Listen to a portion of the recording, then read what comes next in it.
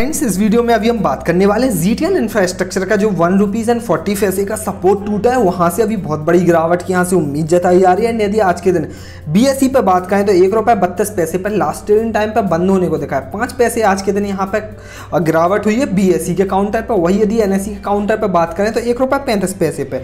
No upper second no lower second में यहाँ पर बंद होने को दिखाया तो एक रुपये बत्तीस पैसे से एक रुपये पैंतीस पैसे के बीच का प्राइस अभी इसका एक सही प्राइस माना जा रहा है, क्योंकि दोनों में यहाँ पर नहीं है बीएससी एंड एनएससी का प्राइस अलग अलग है, तीन पैसे का यहाँ पर डिफरेंस देखा जा रहा है। उसी के साथ यदि बात करें टेक्निकल एनालिसिस में तो आप देख पा रहे हैं काफ़ी ज़्यादा गिर चुका है। यदि 50 days and 200 days simple moving average से देखें तो दोनों से प्राइस में काफ़ी ज़्यादा नीचे है। यदि 200 डेज़ सिंपल मूविंग एवरेज देखें तो एक रुपये सड़सठ पैसे and 50 days simple moving average देखें तो एक रुपये अंठावन पैसे।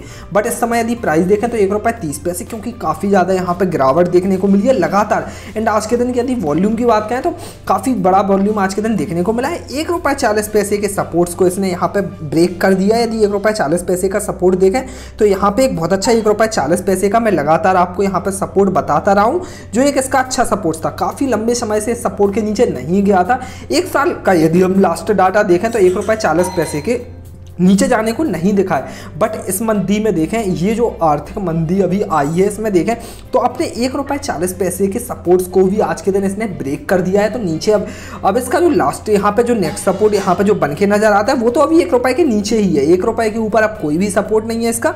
हाँ एक सपोर्ट यहाँ पे ज़रूर है, जो एक रुपये दस पैसे, एक रुपये बीस पैसे के अराउंड एक रुपये दस पैसे के अराउंड है। लेकिन यदि इस सपोर्ट को भी तोड़ता है तो फिर एक रुपये के नीचे ही ये जाने को आपको दिख सकता है, क्योंकि यहाँ पे भाइयों, यहाँ पे कोई भी सपोर्ट्स नहीं है तो आप थोड़ी यहाँ पे आ, देख के चलिए।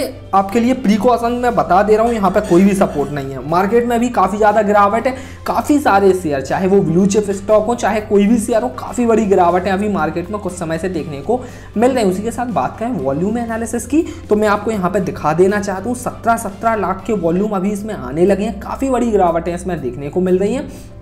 उसी के साथ यदि बात करें तो डिलीवरी भी कोई इतनी ज़्यादा खास डिलीवरी इसमें अभी नहीं उठाई जा रही है। मैं आपको यहाँ पर कॉजन बता दे रहा हूँ। एंड यदि यहाँ पर देखें तो सत्रह सत्रह करोड़ के वॉल्यूम यहाँ पर सामने आ रहे हैं, जो लास्ट टाइम नौ करोड़ एंड सात करोड़ के वॉल्यूम आ रहे थे।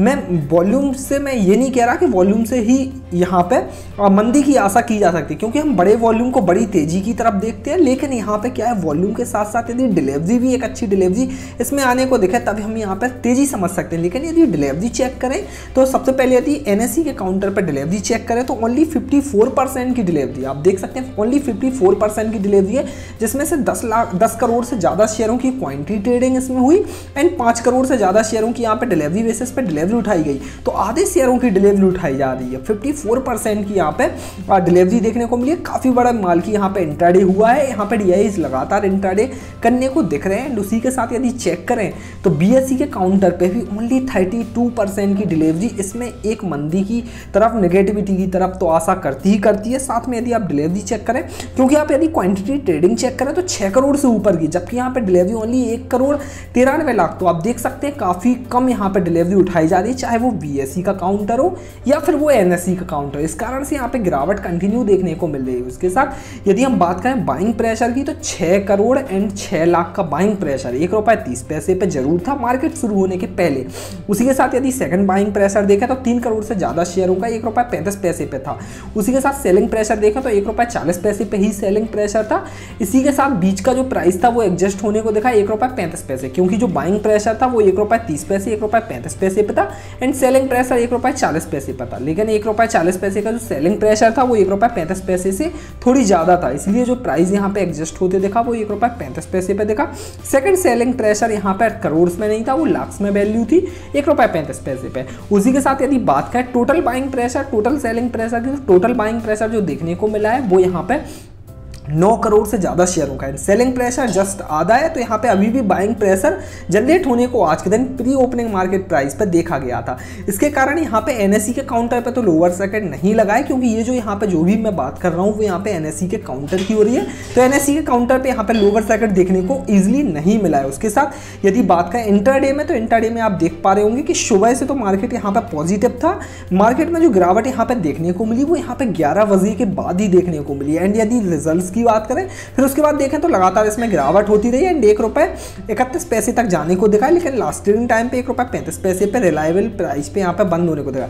यदि बात करें रिज़ल्ट की, यहाँ पे जो क्वार्टर फोर्थ के रिज़ल्ट आने, उसकी यहाँ पे बात की जाए, सत्रह मई को यहाँ पे जो डेट निकल के सामने आई, सत्रह मई को आपके सामने यहाँ पे क्वार्टर फोर्थ के इसके रिजल्ट्स होंगे जी इंफ्रास्ट्रक्चर के। वो मैंने कल भी वीडियो अपलोड की थी, यदि आपने कल की वीडियो नहीं देखी है तो आप यहाँ पे चैनल को सब्सक्राइब करते हुए बेल आइकन पे भी प्रेस कर सकते हैं। ऊपर जो बेल आइकन तो ऑल पे प्रेस कर देना एंड ऊपर यदि टाइटल में आ रहा हो तो वहाँ से प्रेस कर लिए नहीं तो आप यहाँ पे चैनल के अंदर जाते हुए क्वार्टर फोर्थ के रिज़ल्ट की तफ्तीश से एनालिसिस कर सकते हो। वहाँ पे जो रिज़ल्ट आने, सत्रह ऑफ़ मई की यहाँ पे डेट कंपनी के द्वारा ऑफिशियल न्यूज़ यहाँ पे सामने आ चुकी है। इस तारीख को यहाँ पे कंपनी की मीटिंग्स भी होनी है उसी तारीख को यहाँ पे आपके सामने रिज़ल्ट भी आने को देखेंगे। एंड यदि ए सेक्शन की बात करें तो आफ्टर मार्केट ऑर्डर में यहाँ पे बाइंग के लिए काफ़ी बड़ी क्वांटिटी लगी हुई है। अठारह लाख से ऊपर की क्वांटिटी बाइंग के लिए एमओ सेक्शन में लगी हुई जो नेक्स्ट ट्रेडिंग डे पर कल के देन यहाँ पे थोड़ी सा बाइंग प्रेशर बना के ज़रूर देगी। एंड एक रुपये तीस पैसे पे तो एक रुपये पैंतीस पैसे।